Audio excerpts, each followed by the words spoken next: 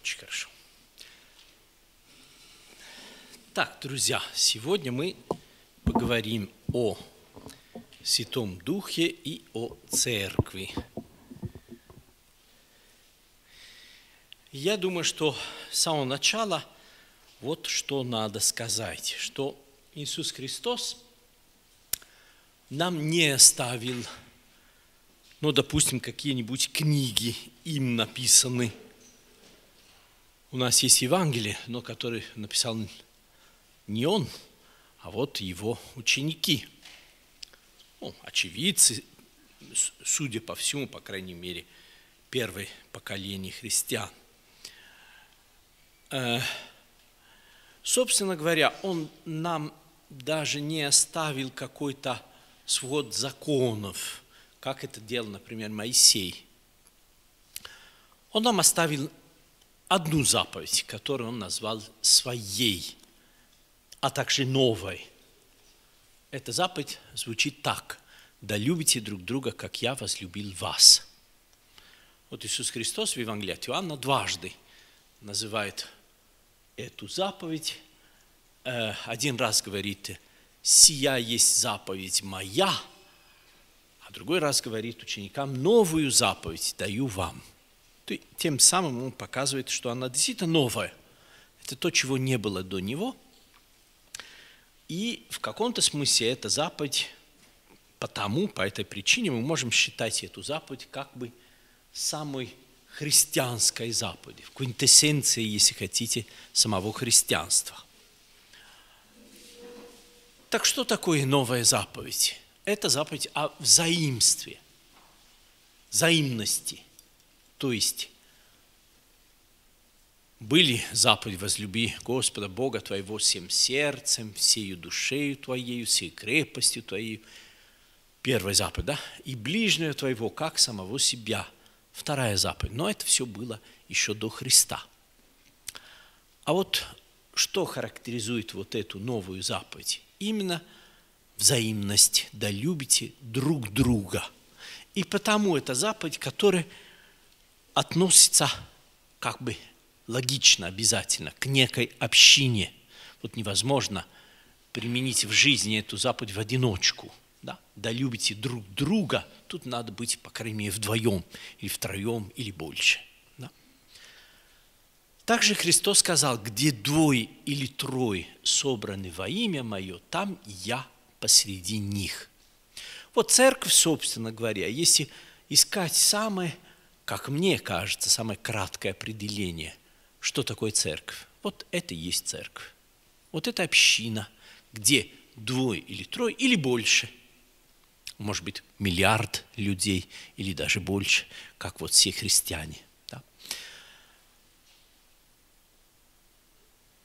Христос нам не оставил книг, не оставил э, законы, вот, за исключением вот этой заповеди, но Он нам оставил, что прежде всего, себя самого. Вот, собственно говоря, таинства, все таинства, ну и для христиан понятно, что главное таинство – это – Евхаристия – это присутствие самого Господа с нами. Также таинство – это сама церковь. Так считали, по крайней мере, первые христиане и отцы церкви. Хотя, когда мы перечисляем сегодня уже в 20 веке, в современное время, семь таинств, которые есть в православной церкви, как церковь как таковая не входит в число этих семи таинств. Но это очень поздняя идея о том, что существует семь таинств. На самом деле их намного больше. И одно таинство, может быть, первое, как бы логично, это сама церковь. Э, Христос нам оставил себя, и как раз церковь – это то место, где вот это присутствие Христа, как сказать, э, поддерживается постоянно. Во-первых, благодаря таинствам, благодаря Евхаристии и другим таинствам. Но еще и потому, как я уже сказал, что Христос сказал, где двое или трое собраны во имя Мое, я посреди них, также сказал апостолам после воскресения, я с вами во все дни до скончания века. Вот это присутствие, мистическое присутствие Христа и есть церковь. Прежде всего. Притом, церковь есть вот это присутствие и ничто иное. То есть церковь не есть какие-то культурные традиции. Это э, как бы оболочка, может быть, которой христианство принимает. Ну, допустим, византийская культура для нас, православных. Но это не само содержание церкви. Содержание церкви – это вот присутствие Христа прежде всего. Почему я об этом говорю с самого начала? Потому что, как вы знаете, в нашей стране, в России, огромное большинство э, жителей России исповедуют православие, считают себя христианами – но очень часто, если вы задавать вопросы, как-то немножко, как вам сказать, эм, спрашивать, а почему вы себя считаете христианином? Вот ответ на этот вопрос не всегда э, может удивить, не всегда адекватным, как мне кажется. Потому что очень многие считают, ну я русский и потому православный. То есть православный только потому, что это некая культурная принадлежность. Да? Ну вот как есть, не знаю, блины, как есть какие-то народные традиции русские, в том числе и православие. Но православие и христианство – это нечто намного больше, чем просто какая-то народная традиция. Притом, христианство и в том числе православие – это не дело прошлого – это не то, что вот наши, ну, простите, в данном случае ваши предки когда-то исповедовали. Это не какой-то уклад жизни патриархальный, традиционный и так далее. Вот все больше и больше мы говорим о каких-то утерянных традициях, да, о каких-то скрепах и так далее. Но скрепы для, для христианина вот в чем. Да любите друг друга, как я возлюбил вас. Вот это и есть христианство. Э, понятно, что если смотреть со стороны правительства и правителей всех времен и народов, но имеется в виду нового времени уже после Христа, скажем, христианские народы и так далее. Понятно, что христианская вера – вещь очень удобная, потому что как бы можно ее использовать для того, чтобы всех поддержать в подчинении. Да? Понятно, что человек, который исповедует христианство – но не будет убивать, скорее всего. Хотя это не совсем так. Потому что, например, если мы смотрим статистику и число абортов в нашей стране, это не так уж очевидно. А, понятно, что христианин не будет грабить банк. Ну, большинство случаев, по крайней мере. Да? Но, допустим, Э, соблюдает ли христианин, когда водит свой автомобиль, когда он за рулем, правила дорожного движения, это уже не так очевидно. Относится христианин с уважением ко всем, именно ко всем, потому что любой человек, даже самый плохой человек, последний из грешников, он, тем не менее, создан по образу и подобию Божьему, и потому он имеет право на уважение – вот это наше христианство. А это уже не так очевидно.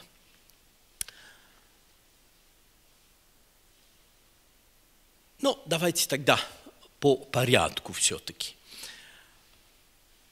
Иисус Христос во время своей земной жизни призвал какое-то количество людей, своих учеников, сначала 12, потом 70, 72, не очень понятно, разные евангелисты по-разному приводят это число. Но и потом была еще какая-то группа людей, еще более широкая вокруг него. Но понятно, что община вокруг Христа, вот были самые-самые-самые близкие, потом шире, шире, шире и так далее.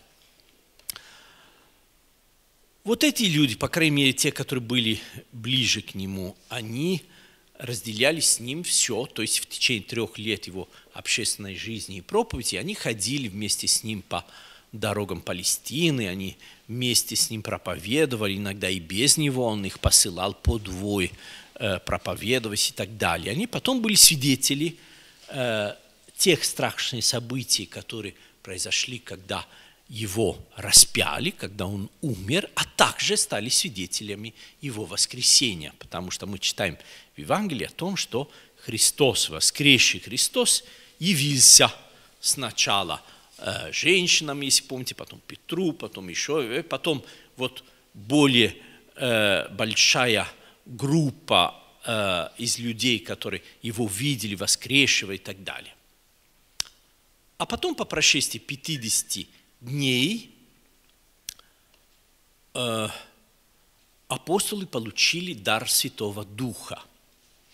И вот считается, что вот это праздник Пятидесятницы, наверное, у нас будет икона, сошествие Святого Духа, и есть день рождения церкви. Э,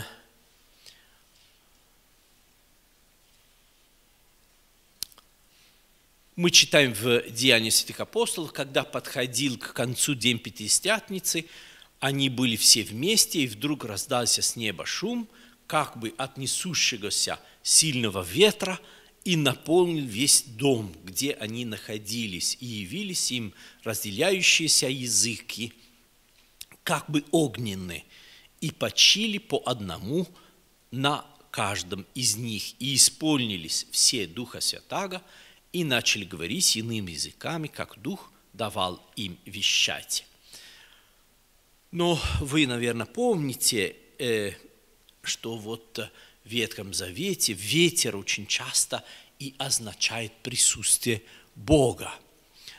Э, еще и потому, что Дух и ветер – это одно слово.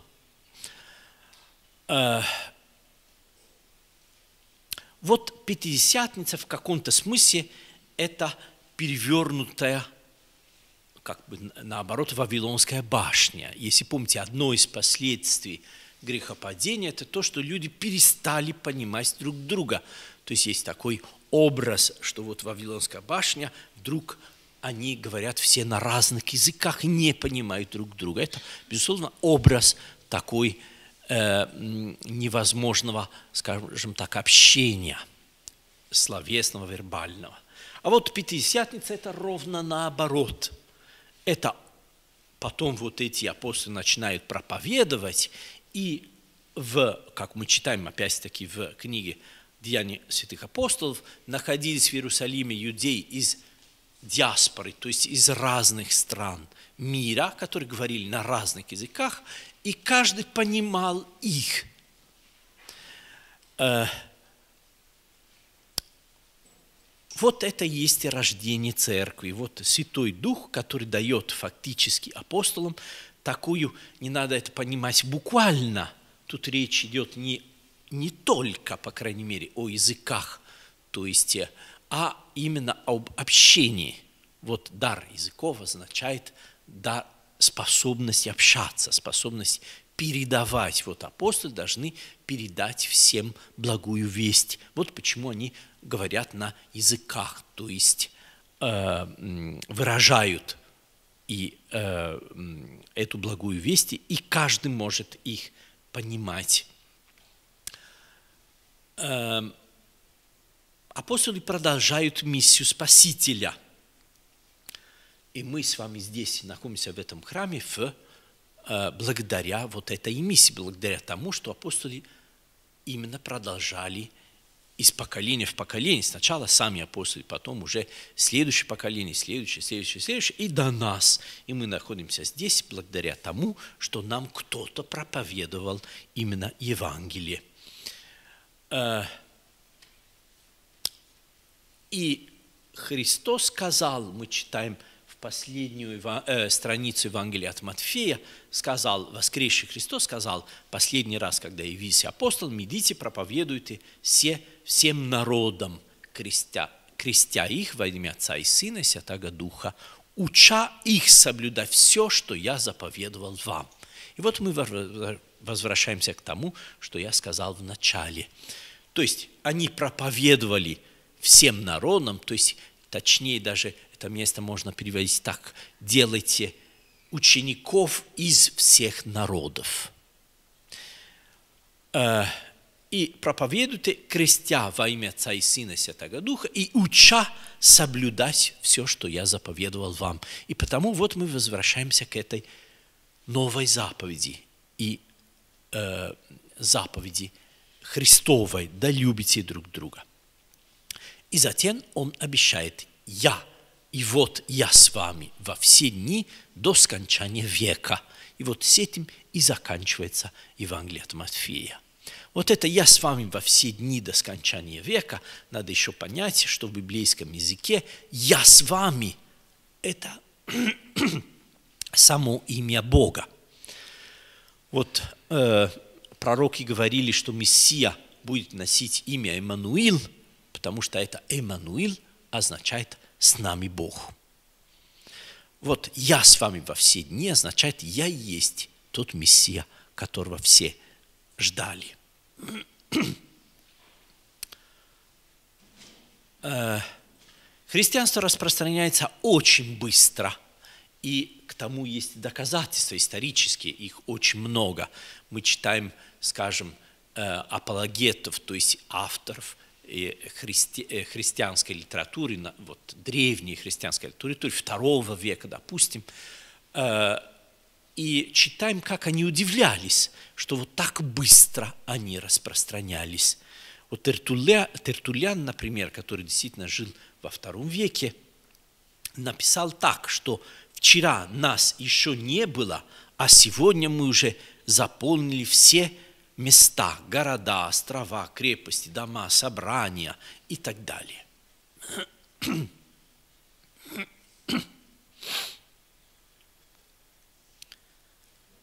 Отец Александр Мень в э, последних словах, скажем, эпилоге своей книги «Сын человеческий» написал так, «Пронеслись века, возникали и рушили империи, гибли цивилизации, военные, политические, социальные перевороты меняли самый облик земли. Но церковь, основанная Иисусом Назаринином, возвышается как скала среди этого э, клокочущего моря. Вот еще э, отец Александр написал о том, что христианство влекло к себе людей, казалось бы, абсолютно не похожих от рабов Рима до Данте, от Достоевского до африканских пастухов и так далее. И дальше он пишет, в каждую эпоху Новый Завет обнаруживал скрытые в нем э, Э, неистощимые импульсы к творчеству. Э, еще написал, что э, когда казалось грехи христиан, распри, расколы порой ставили под удар само существование церкви, она все-таки выдержала – все исторические битвы и кризисы. И он комментирует еще, тайна ее неодолимости заключена в Сыне Человеческом, который, по слову апостола, вчера, сегодня и во веки тот же. Да, потому что церковь есть вот это присутствие самого Христа. И это самое важное, вот, эм, как я уже сказал, самое сжатое, самое короткое определение о том, что такое церковь.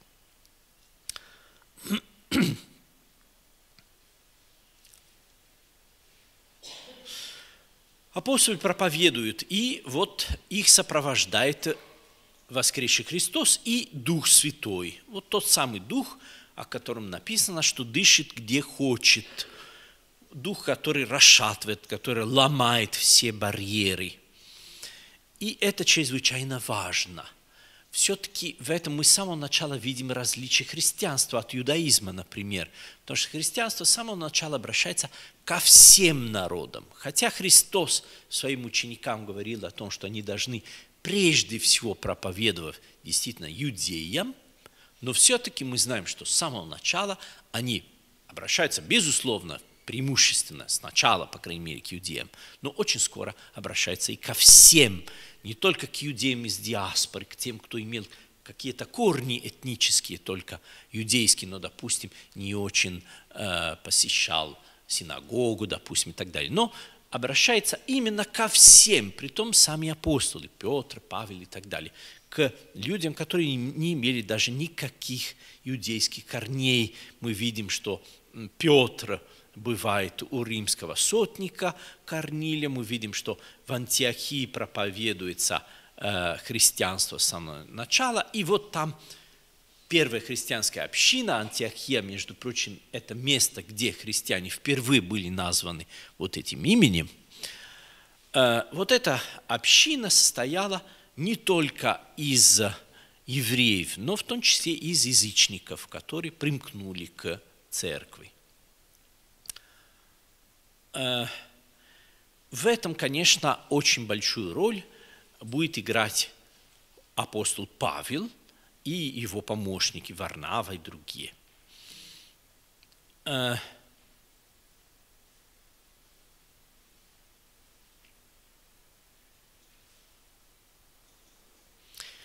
церковь считает себя новым Израилем, то есть новым народом Божиим, совершенно независимо от национальности ее членов.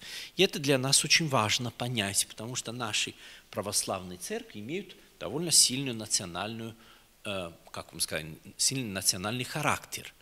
Да? Они поместные церкви. Русская православная церковь, болгарская православная церковь, сербская православная церковь. И это очень хорошо.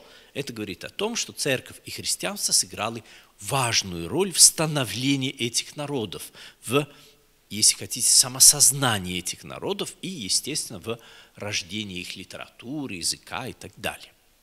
И это все правильно. Но церковь по определению находится над национальной принадлежностью. Вот даже каждая из наших церквей национальных, вот она, русская православная церковь, ну, кроме того, что ее территория, даже каноническая территория, это не только Россия, не только Российская Федерация, но Белоруссия, Украина, Молдавия и так далее. Но она проповедует во всем мире. Наши приходы находятся во всех странах мира, и во всех странах есть люди, которые обращаются к Христу, к церкви, в том числе становятся членами Русской Православной Церкви, не имея никаких русских корней, вот как, например, я. Да? Э, это чрезвычайно важно, потому что церковь никогда не может полностью отождествляться с каким-то народом, а это чрезвычайно важно нам запомнить и правильно понять, потому что сегодняшняя какая-то псевдопатриотическая идеология, которая распространяется именно в последние 2-3 года в России, она такая вещь э, достаточно опасная, потому что бывает определенная путаница. Да, мы все православные, потому что русские, и русские, потому что православные, православные, потому что русские и так далее. Да?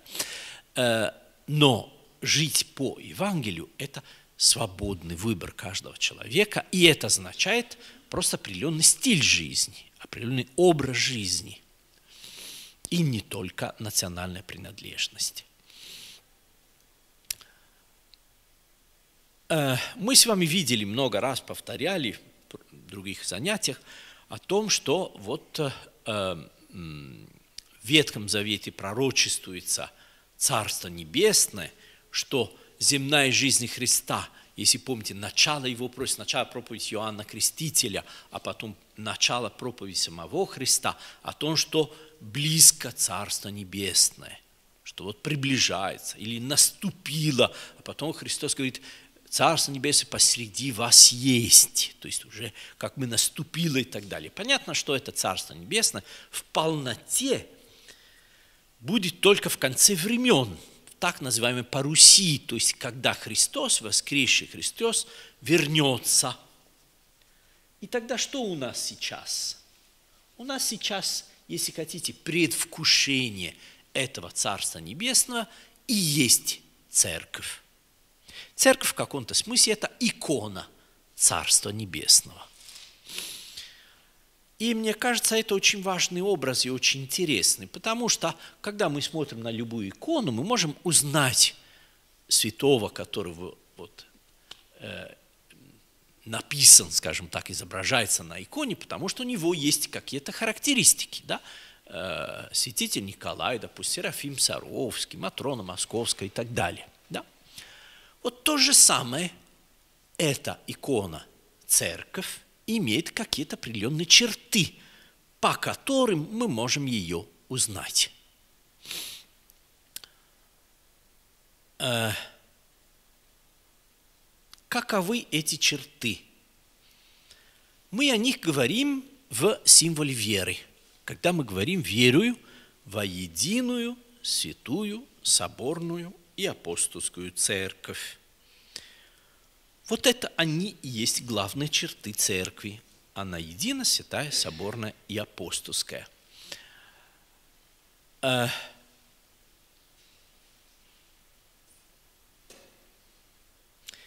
но скажу сразу, что церковь как мистическое тело Христа, она действительно всегда единая, несмотря на то, что, увы, христиане, те, которые исповедуют Иисуса Христа Спасителем и Господом, они разделены между собой, потому что существуют разные церкви. Но церковь с большой буквы, как мистическое тело Христа, она остается единой, несмотря на это. И так каждый вот это, эм, каждый прилагательный из этих четырех, э, святая, например, церковь святая, а мы с вами пока не совсем святые мы к этой святости всей церкви только идем. И, увы, находимся достаточно далеко. Потому что каждый, каждый из нас, если думает о себе, мы все понимаем, что мы уж не совсем еще святые. Да? И так далее. Э, для этого, э, может быть, нам помогут э, два места из двух посланий апостола Павла Коринфянов из первого послания, где апостол говорит так, Бог, дабы посрамить мудрых, избрал немудрое этого мира, а слабое этого мира избрал Бог, дабы посрамить сильное. И то, на что мир смотрит свысока, что он презирает, даже считает несуществующим, Бог избрал – дабы ни во что обратить существующее, чтобы никто не возносился пред Богом. Вот очень часто мы удивляемся, а как же в церкви бывают, не знаю, ссоры, скандалы, или люди, которые не совсем хорошие, и при том среди, в том числе и среди духовенства и так далее. Это, увы, это ужасно, да, и это смущает многих людей. Но не надо забывать эти слова апостола Павла.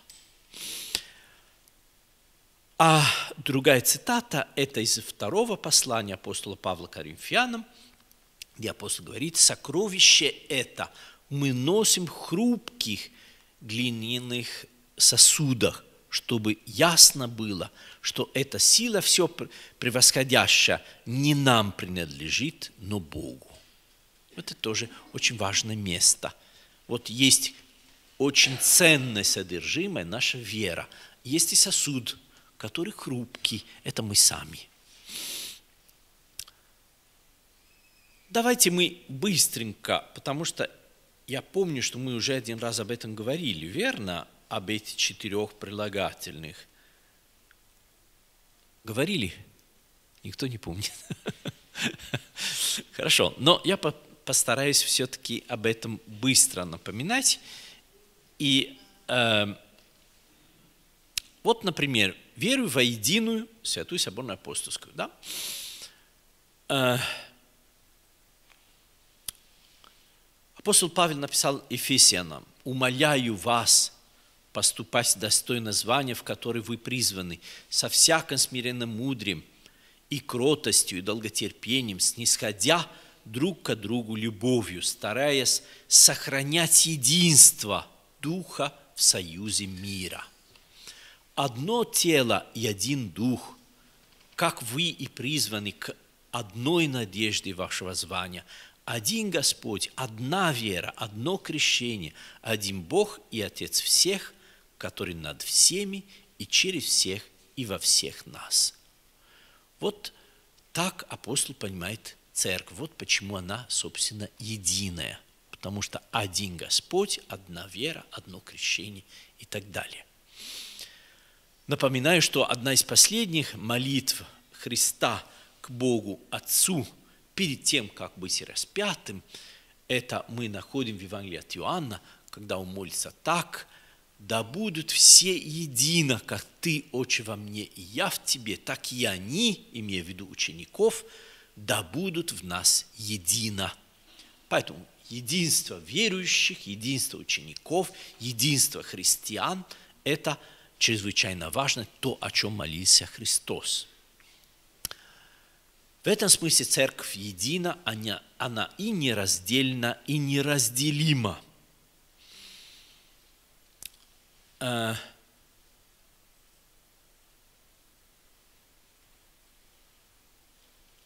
я не буду сейчас говорить о том, какие были расколы в церкви, потому что время не позволяет, и еще и потому, что я об этом читаю целый курс по пятницам вечером, поэтому э, это сейчас просто нереально.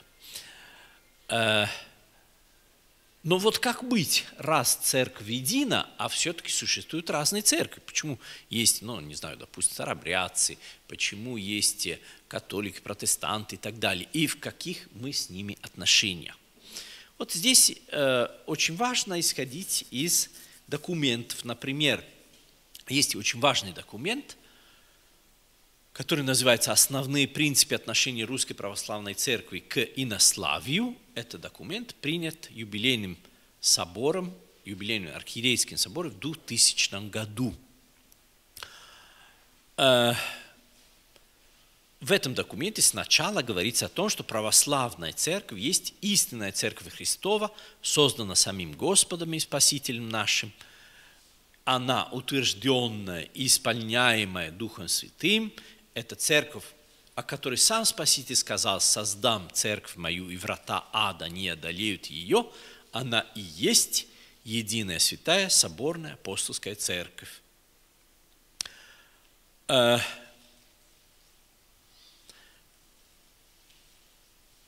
Вот в этом смысле э, православная церковь, все православные церкви вместе взяты, как единая церковь, они смотрят на других церквей, не православных, как на отделившихся от единой церкви. Э,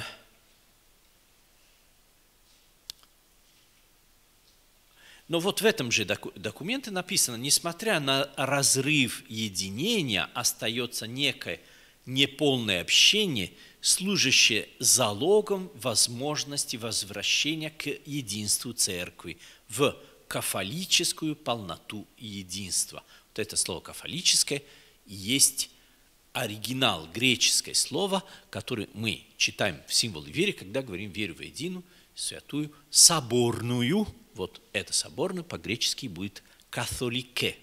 Да? То есть вселенское, если хотите.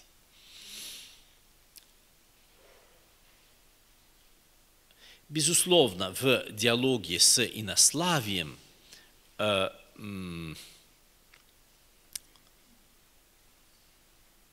есть некоторые церкви, которые нам ближе, чем другие, ну, скажем так, безусловно, э, старобрядцы, допустим, и, безусловно, древние церкви Востока, такие как, не знаю, армянская церковь, э, ассирийская, сирийская, коптская и так далее – они довольно близки к православным церквам. Также довольно близка католическая церковь. Немножко дальше стоят православные, э, протестантские, простите, церкви.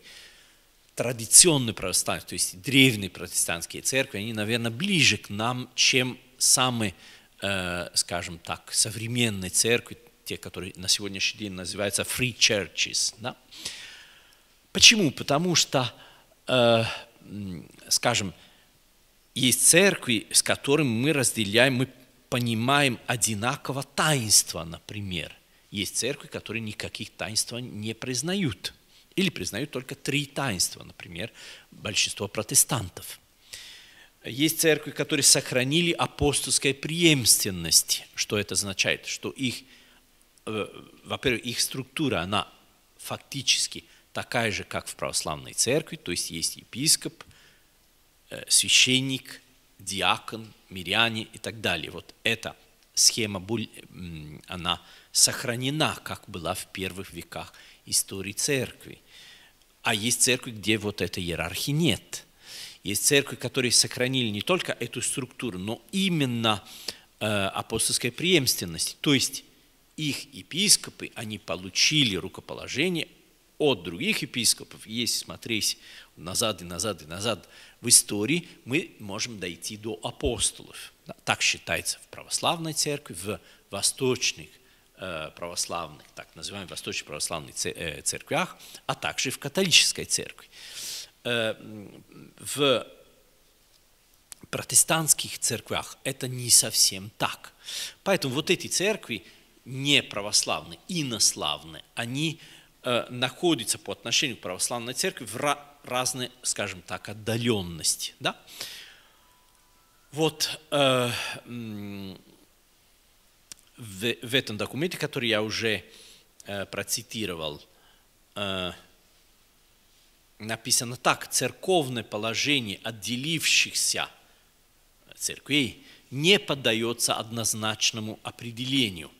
Даже написано, православная церковь подходит к инославным конфессиям дифференцированно. Критерием является степень сохранности веры и строя церкви и нормы духовной христианской жизни и так далее. Но вот это в том, что касается единства церкви. И я еще хочу добавить, что не надо путать все-таки церкви с сектами. Есть определенные критерии, которые э, которым должны э, соответствовать именно церкви и которым не соответствуют э, секты. Есть нехристианские секты, есть околохристианские секты. Ну, понятно, что, не знаю, свидетели Иеговы, Хари Кришна, Age и так далее, они стоят все-таки очень далеко от православной церкви. Э, значительно дальше, чем, допустим, протестанты, чем католики, чем э, древние восточные церкви и так далее. Э, понятно, что другие религии тоже еще дальше, наверное, стоят – правда, за исключением иудаизма, с которым у нас очень много общего, это понятно, весь Ветхий Завет, и, а также ислам, с которым тоже довольно много общего. Понятно, что индуизм и буддизм, они все-таки еще стоят дальше от православной церкви. Но, э, сказав это, очень важно подчеркнуть, что православная церковь ведет диалог со всеми, именно со всеми всеми, то есть со всеми церквами, с, со всеми христианами, с теми, кто исповедует другие религии и так далее. А этот диалог чрезвычайно важная вещь. Вот сейчас в православной церкви, например, слово экуменизм воспринимается почти как ругательство и как обвинение. А на самом деле, если это слово э, под этим иметь в виду стремление к диалогу, то это не только абсолютно православная вещь, но необходимая вещь, потому что раз Христос молился, да будет все едино, все попытки как-то восстановить это единство, это, безусловно, правильно и православно. Далее, церковь единая, церковь святая. Э, но апостол Павел в разных своих посланиях метафорически описывает церковь как чистую деву, которая обрученная единому мужу Христу. Э,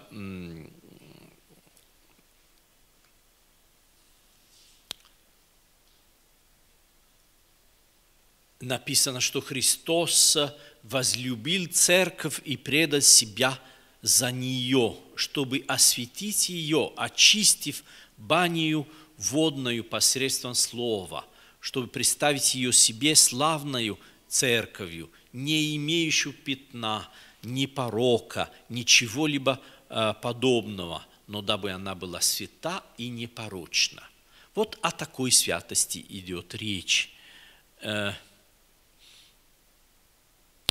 вы знаете, что в наших богослужебных текстах э, прилагательное «святой» слово «святой» относится ко всем христианам, потому что и апостол Павел так использует это слово. Да? Святые для апостола Павла – это все э, верующие.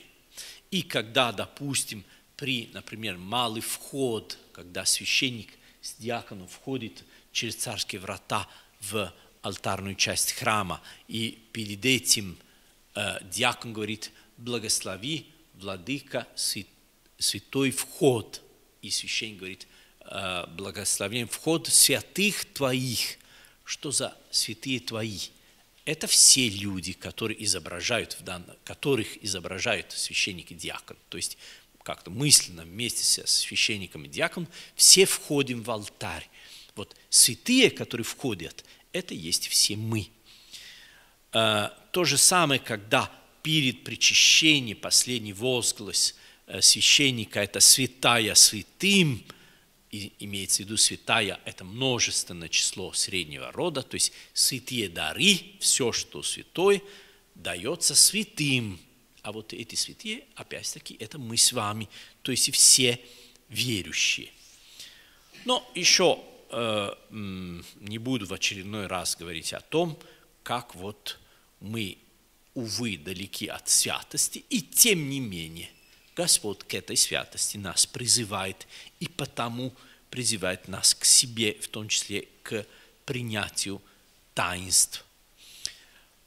Еще очень быстро хочу напомнить о том, что есть разные э, притчи, и вот почитайте дома, вот как домашнее задание, 13 главу Евангелия от Матфея, там найдете множество притч, которые почти все говорят о церкви.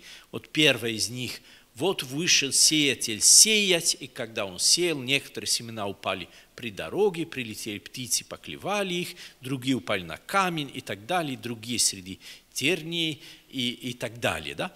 Вот это действительно церковь, то есть мы все получили благую весть, мы все знаем о том, что Христос воскресе, мы все хотим участвовать в жизни церкви, но мера, как сказать, нашей, э, э, нашего участия меняется в зависимости от нашего состояния духовного.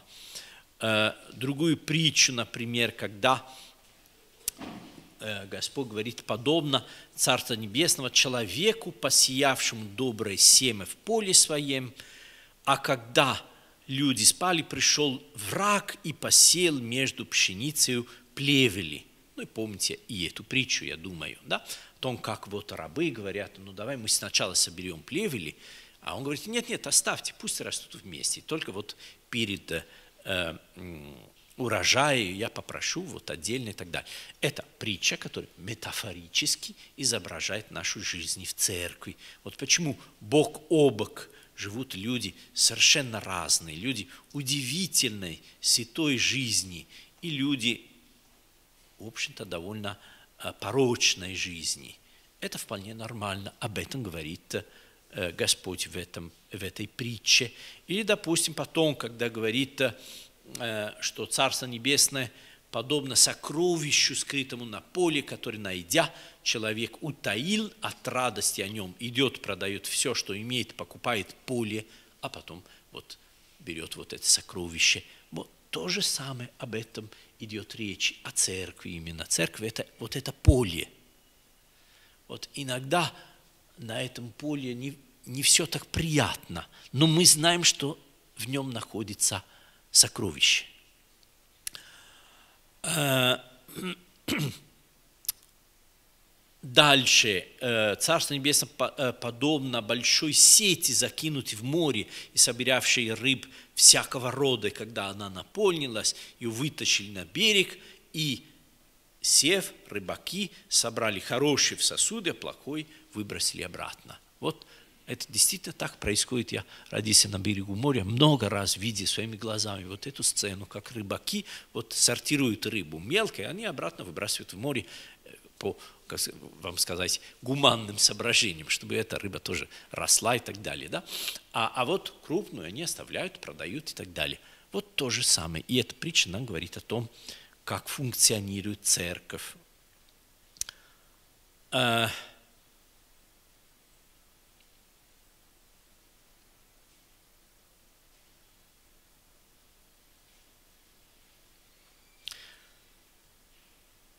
Так, единая святая соборная. Э, вот это, как я уже сказал, это эм, прилагательное в греческом оригинале звучит как католике, означает э, вселенская, или, если хотите, всеобъемлющая.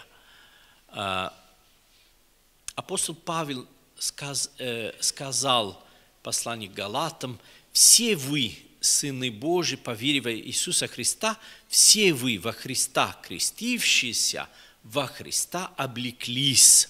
И нет уже иудея, ни язычника, нет раба, ни свободного, нет мужеского пола, ни женского, ибо все вы одно во Христе Иисусе. Вот, э, несмотря на, как я уже сказал, национальный характер по месту православной церкви, церковь, она открыта для всех и обнимает, и должна обнимать всех. Э, притом не только, скажем, простите, русских, не русских, да, а э,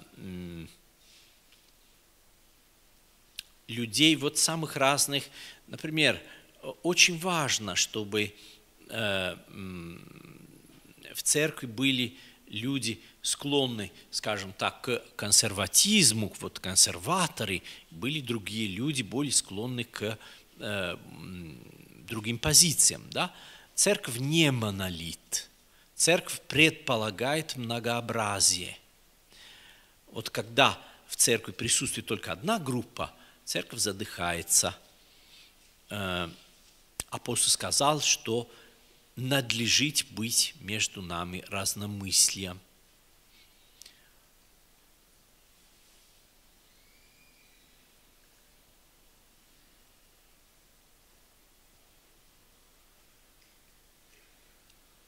И последнее прилагательное – апостольская, в единую святую соборную и апостольскую церковь. Э, апостольская она называется не только потому, что она, вот мы здесь находимся, мы с вами находимся здесь в результате проповеди апостолов, да? но еще и потому, что э, как мы получили, скажем так, эстафету веры, мы должны передавать следующим поколениям вот это тоже чрезвычайно важно. И это тоже касается апостольской, апостольского характера церкви. Э,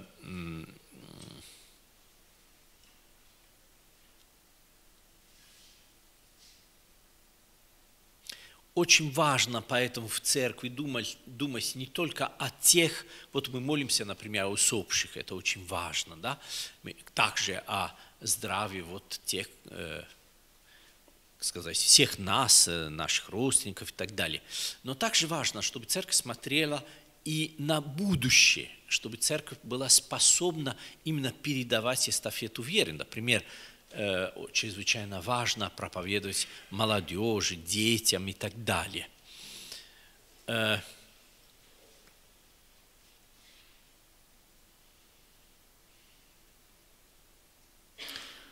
Вот это что касается вот этих четырех прилагательных, которые мы читаем в символе веры. Единая, святая, соборная и апостольская.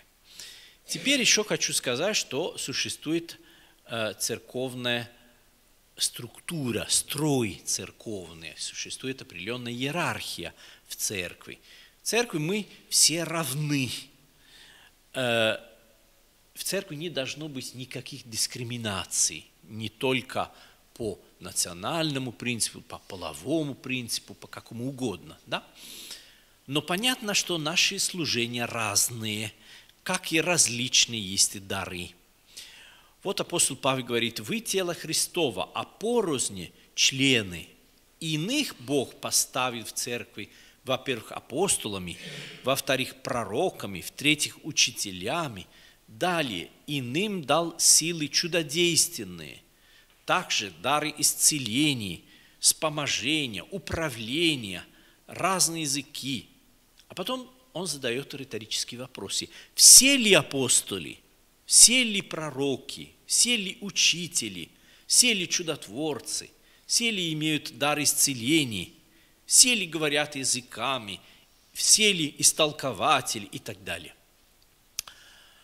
Вот, э, а потом уже апостол говорит, ревнуйте о дарах больших и я покажу вам путь еще превосходнейший.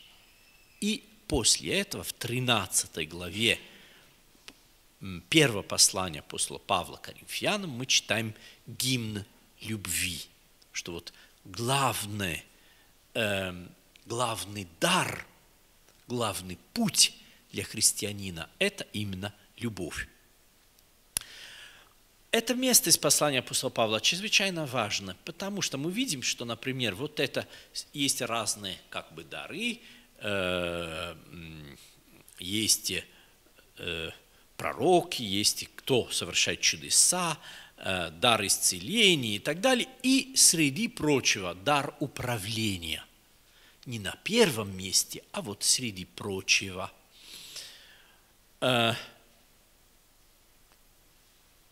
Очень часто, к сожалению, мы совершаем одну ошибку, что даже когда используем слово «церковь», очень часто имеем в виду всего лишь маленькую часть церкви, имеем в виду церковную иерархию. Да? Часто люди используют слово «церковь», имея в виду просто церковную иерархию, допустим, епископат, патриарха и так далее. Да? Здесь важно понять, что церковь – это прежде всего все мы с вами, то есть все верующие, весь народ Божий. А вот уже иерархия – это как вам сказать, это как скелет. Мы не видим скелет. Без скелета тело не держится, но мы его не видим. Вот то же самое в э, теле церковном – вот э, церковная иерархия – это то, что поддерживает, если хотите, все церковное тело. Но это не все тело. Мы состоим не только из скелета. Э, если мы э, изучаем историю церкви, видим, что фактически с первого века, во всяком случае со второго века есть именно свидетельство об этом, о том, что уже существовала некая структура церкви. Вообще-то мы это видим даже, если читаем Евангелие, потому что все-таки Господь выбрал 12 э, учеников вокруг себя. И вот жизнь этих 12 отличала, а, отличалась от жизни других последователей Христа. Поэтому, видимо, какая-то определенная структура и э, в том числе иерархия, она действительно необходимая, она по воле Божией. Мы видим, что со второго века – главная структура церкви, вот православная церковь, какая существует до сих пор, она уже была во втором веке, потому что э, э, такие э, церковные писатели, как Игнатий Богоносец, как Тертулян, как Ириней Лионский, вот во втором веке, и даже в первом веке Климент Римский, они фактически нам читая их сочинения, мы видим, что церковь уже жила и имела примерно такую же структуру, как на сегодняшний день. Да? Э, принцип такой, что во главе общины стоял епископ. Правда, в первом и втором веке слово епископ и слово пресвитер, пресвитер означает священник, они еще используются как синонимы Почему? Потому что в каждом городе был один епископ. Вот во главе каждой общины, в каждом городе была одна община и был один епископ. А как только церковь распространяется и число верующих становится все больше и больше, конечно, в одном городе была не одна община да, и, и, и так далее. И потому все-таки оставался епископ как главный местной общины, и Пресвитер – это уже человек, который по его рукоположению, после его рукоположения, помогал епископу. Э, также мы видим, что э, диакон – это человек, который также помогает, сначала он помогает епископу, а потом уже помогает священнику. Да? Если хотите, священник – это человек, который может служить почти все таинства, но по, скажем так, благословению епископа. Когда священник служит прежде всего божественную литургию, то есть Евхаристию, он служит от имени епископа. И потому даже все диалоги, которые, например, между священником и диаконом во время богослужения, диакон обращается к священнику, называя его владыкой. Вот как обычно обращаемся к епископу, потому что священник служит все таинства от имени епископа, который его рукоположил. Э, почти все таинства, потому что священник, например, не может рукоположить другого священника, это может делать только епископ. Да. Э, а диакон изначально был помощником епископа, а потом, по мере того, как церковь стала развиваться, и появились пресвитеры, которые э, вот и диаконы стали помощниками и э, э, священников тоже. Но диакон не может э, сам служить, совершать таинство. Это разница. Поэтому, если хотите, полнота э, священного сана имеет только епископ, священник имеет почти полноту, потому что может служить почти все таинства, а диакон может помогать епископу или священнику совершать таинство. Все остальные, э, как бы сказать, э, ступени э, церковной иерархии, они чисто организационные. Ну, например, кто такие митрополиты, архиепископы, патриархи и так далее. Они епископы, только в зависимости от важности их кафедры. Вот мы знаем, что в какой-то момент, когда церковь стала действительно распространяться все больше и больше, скажем, назначался епископ главного города носил титул митрополит, и ему фактически подчинялись другие епископы этой же области, но которые были во главе более маленьких э, кафедр или менее значительных кафедр, менее древних и так далее. Но фактически митрополит, архиепископ и даже патриарх в православной церкви – это просто епископ – Патриарх – это епископ, который во главе других епископов. Э, также остальные иподиаконы, панамарии э, и, и так далее. Это люди, которые помогают при совершении богослужения, но не имеют священного сана. Э, Территориально церковь делится на епархии или архиепархии, метрополии и так далее. Но это уже чисто административная структура. Э,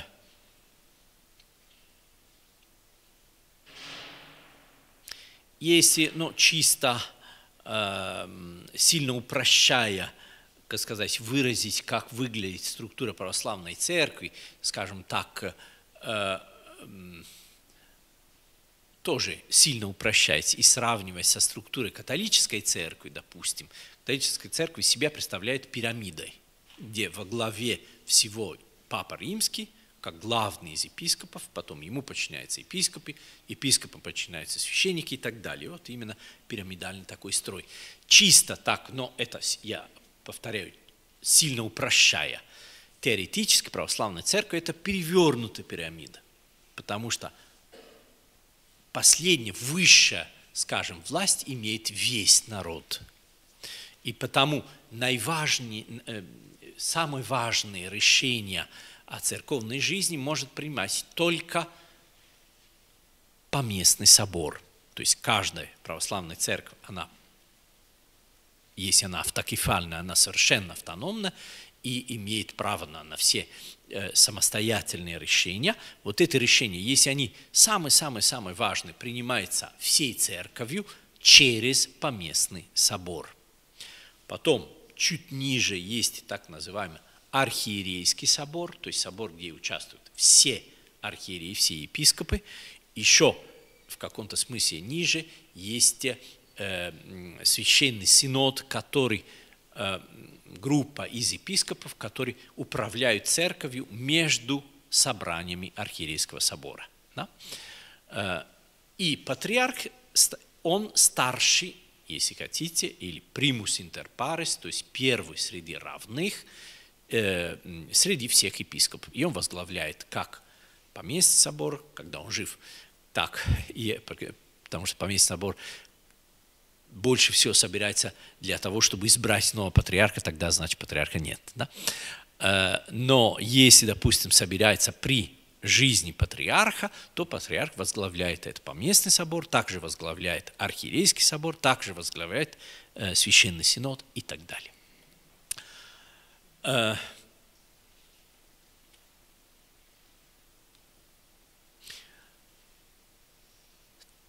Так, я бы хотел сейчас, э, так как наша тема э, сегодня это Церковь и Святой Дух,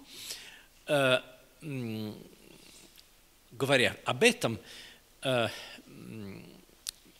сказать несколько слов о том, что мы имеем в виду, когда мы говорим, вот мы читали слова апостола Павла о том, что есть разные дары в жизни церкви. Вот дар по-гречески – Э, звучит харизма. Харизма – это именно дар, прежде всего дар от Бога и от Духа Святаго. Харизма потом уже в э, церковном, скажем так, лексиконе используется уже с специфическим смыслом. Да? Но, например, харизматическая личность, даже в светском, светской, светском языке, да? Э, Э, есть так называемые харизматы среди христиан, то есть группа, которая, как сказать, подчеркивает именно вот эти дары, эти харизмы. Э, Но ну, прежде всего надо сказать, что харизмы – это вот эти дары от Бога. Это дары который получают все христиане. Это не нечто, как вам сказать, из ряда вон выходящее, а вот каковы дары Святого Духа. Это мудрость, знание, умение различать духов, это вера, это может быть чудеса, исцеление, это может быть пророчество. Э, но, к сожалению, мы иногда вот это слово используем в немножко таком банальном значении. Но харизматическая личность, он очень харизматичен. Вот мы это слово используем, э, э, имея в виду всего лишь, что, что человек очень оригинальный, допустим, непредсказуемый и так далее. Получается, что харизматичности иногда совпадает с чудачеством. Но это, как вы понимаете, не об этом идет речь в церкви. Да? Э, и немножко Бывает, что э, наши, по преимуществу наши друзья, наши братья и сестры протестанты, например, пятидесятники – это целая церковь, которая подчеркивает именно Пятидесятницу и потому дары Святого Духа, э, вот в этом харизматическом движении они обращают внимание на такие вещи, как говорить на э, незнакомых языках, Э, пророчествовать и так далее. Иногда используется еще выражение крещения Духом Святым, который вообще-то э, взят из Священного Писания. Но здесь надо объяснить, что для православной церкви крещение – это всегда крещение Духом Святым – это не нечто особое, а это просто таинство, которое получает любой христианин. И при том, то, что в православной церкви служится э, фактически одновременно, точнее, последовательно, сначала э, крещение, а затем миропомазание, а миропомазание есть печать дара Духа Святаго. Да? Вот это нам показывает, что все, все христиане получают полноту этих даров от Святого Духа. И э, как говорит апостол Павел, все мы одним духом крестились в одно тело. И потому вот такая постановка, что вот есть так называемое крещение Духом Святым, и это нечто особое, что получают только определенные люди и так далее, это не совсем православная Эм, позиция.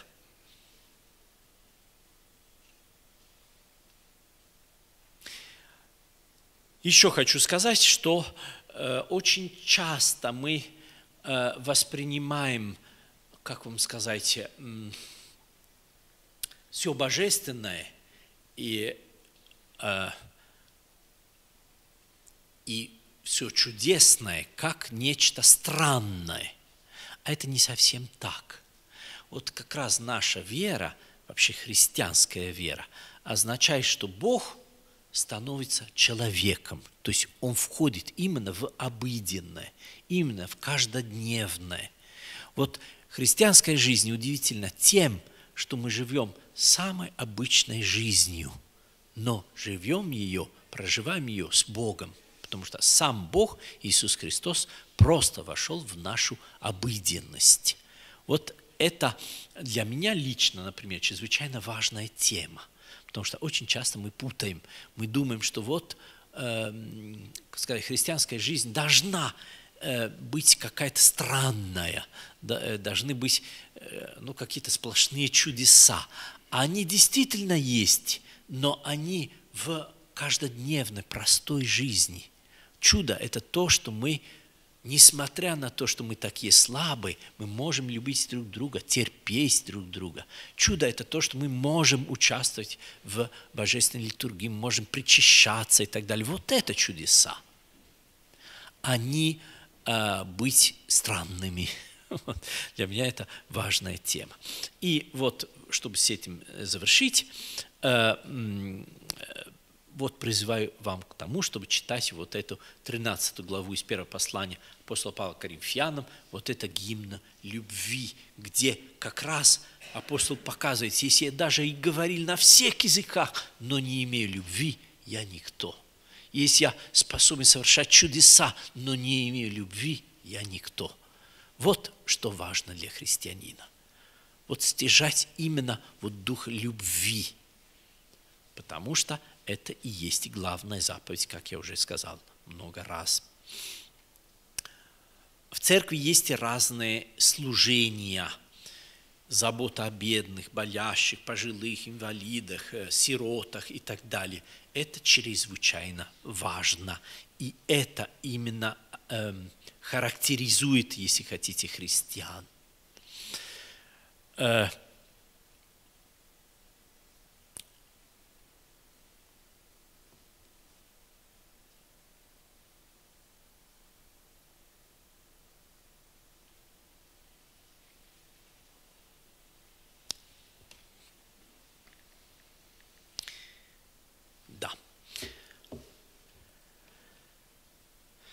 Так, сейчас я бы хотел, ну, мы уже завершаем сегодняшнюю тему. А, но перед этим я хочу сказать буквально еще одно слово о том, что, ну я постараюсь как можно короче, потому что я помню, что об этом точно мы уже говорили один раз – о том, что вот, как мне кажется, есть два способа видеть э, нашу веру христианскую, нашу принадлежность к православной церкви. Да? Вот само слово «мы православны», значит мы правы. Мы уверены, что мы правы, и без всякого сомнения мы правы. Но правда из этого э, легко делать э, вывод, раз мы правы, есть люди, которые не правы. И это все остальные – и потому все, что наше, хорошо. Все, что не наше, плохо по определению. Э, получается, все, что не наше, но не православно и не от Бога. Вот отсюда какая-то странная позиция, что, например, вся светская культура – которая не православная, она не наша, и значит плохая, нам не нужна. Вот мне в городе Брянск подарили такую э, брошюрку по названию «Православная физика». И вот я недоумевал, чем православная физика отличается от неправославной физики. Вот есть какие-то законы особые, которые вот отличаются и так далее. Также есть православная математика, есть, хотите, православное кино, православный балет и так далее это такая немножко банализация, как мне кажется.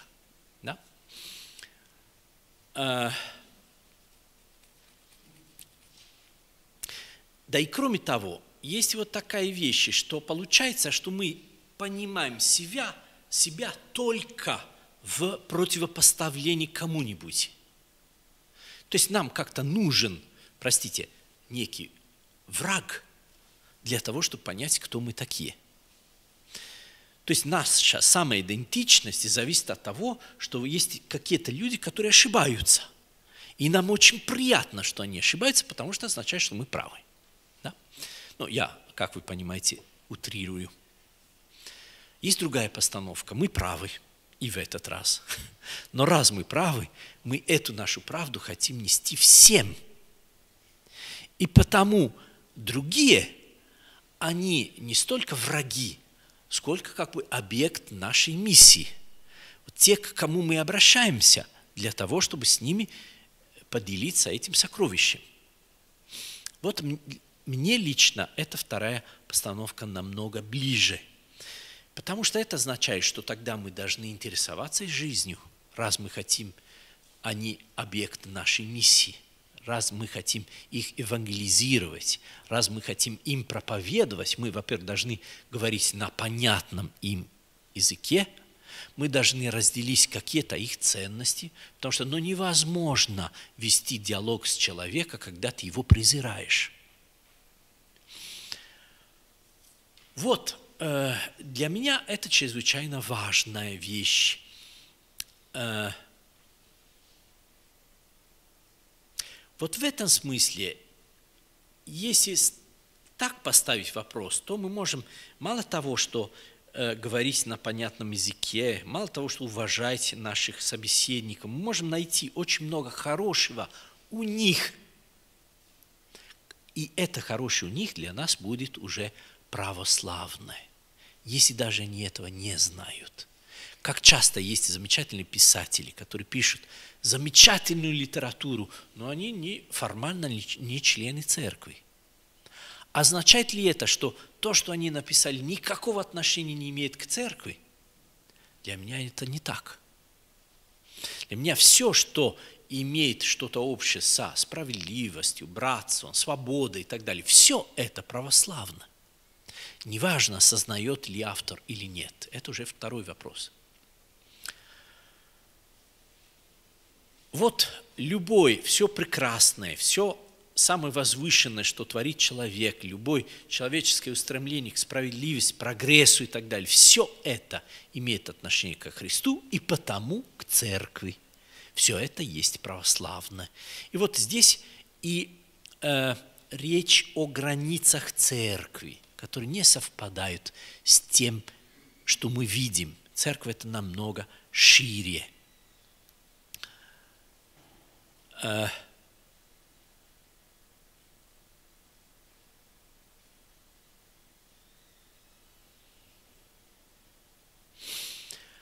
Вот, например, для меня, как человек, который пришел в православную церковь в сознательном возрасте и абсолютно по свободному выбору, без всяких э, этнических корней, скажем, православного народа, э, для меня православие – это – Церковь миссионерская, которая не боится общения или диалога с кем бы то ни было, которая ведет диалог со всеми, с другими христианами, с другими религиями, со светской культурой и так далее. Это церковь, для которой важны эти слова апостола Павла. Для всех я э, сделался всем, чтобы спасти, по крайней мере, некоторых. Э, Напоминаю, что есть замечательная проповедь апостола Павла в Афинском Ареопаге, вот, который нам приводится в Деянии святых апостолов, где апостол Павел знал прекрасно культуру греков того времени, а это были язычники. Он знал эту культуру прекрасно, настолько, что проповедуя им, он цитирует стихи языческого поэта – но использует это для миссии. Вот для меня пример православия.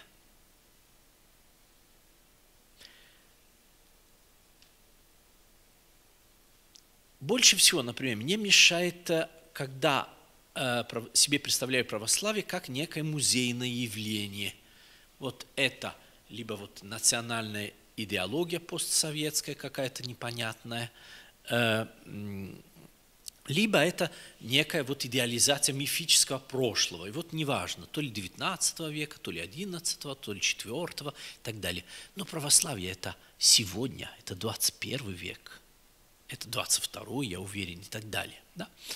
То есть православие – это Христос воскресший, а Он здесь и сейчас, Он современник людей всех эпох.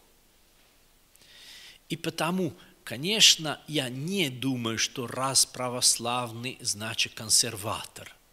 Вот для меня ровно наоборот. Раз православный, значит способен это православие нести всем. Потому не надо делить людей на своих и чужих, как-то одних идеализировать, других демонизировать, потому что это как раз не православная позиция. Последнее, и с этим мы заканчиваем, мне кажется, как раз э, со временем правильно. Сильно сокращаю, но я бы хотел тогда, завершая сегодняшний разговор о церкви и Святом Духе, процитировать слова, которые написаны во втором веке. Вот среди памятников ранней христианской письменности есть такое письмо Диагнету. Мы не знаем, кто автор этого письма. Это анонимный автор, то есть нам незнакомый автор, кто пишет некому Диагнету и пишет о том, как живут христиане. Вот это для меня чрезвычайно важно и актуально. Написан во втором веке. Христиане, говорит автор, не отличаются от прочих людей ни страной, ни языком, ни одеянием. Однако, проживая в греческих, то есть эллинских и варварских городах, они являют парадоксальное устроение своего жития. Это буквально, буквально цитата они обитают в своем Отечестве, но как пришельцы. И тут надо здесь объяснить, что в древности пришельцы, то есть иностранцы, не имели никаких прав. То есть человек, который жил далеко от своей родины, от своих родных и так далее, действительно был лишен всех прав. И вот когда автор говорит так, они обитают в своем Отечестве, но как пришельцы – то есть как иностранцы, как люди, которые не имеют права. Они участвуют во всем как граждане, но терпят все как чужеземцы. Всякая чужбина им отечество, и всякое отечество чужбина. Во плоти они пребывают, но не по плоти живут. На земле находится – но на небе жительствуют. Даже точнее, вот буквально «эн урано полютеунтай» означает, они являются, являются гражданами неба. Они подчиняются установленным законам, но своей жизнью они превосходят законы. Они любят всех – но всеми преследуются. Незнаемый, но осуждаемый, умершвляемый, но оживотворяемый. Они нищенствуют, но обогащают многих. Всего лишены, но во, всем, во всем изобилуют.